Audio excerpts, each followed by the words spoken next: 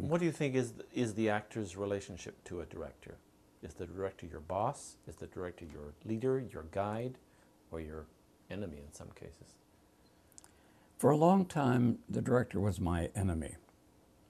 But I finally found that if I was accepting a part, I had to accept the director too. If I didn't want the director, then I didn't take the part. Mm-hmm. But that only accrued after a long um, period of learning.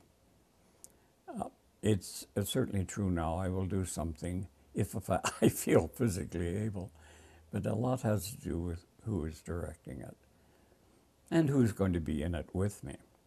And what can a director give you that helps you, and when does the director become an impediment?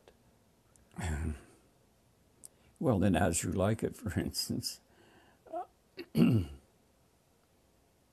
well, let's take John Wood, for instance. Uh, when we were doing Henry V, and I was playing the chorus for the second time because I had done it originally with Michael Langham.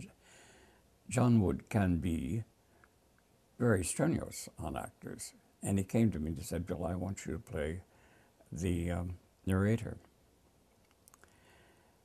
And I said, John, what do you have in mind? He said, Well, an old soldier, a veteran, will be the narrator. That I said, Yes, I can see myself that way. He said, Well, will you accept it? Well, I said, I want no surprises. I've done it before. I know it, and I know what I can do with it, and but don't surprise me. And he never did. By surprise, you mean? Suddenly say, this is being done in the 60s, and the music is by the Barenaked Ladies. What?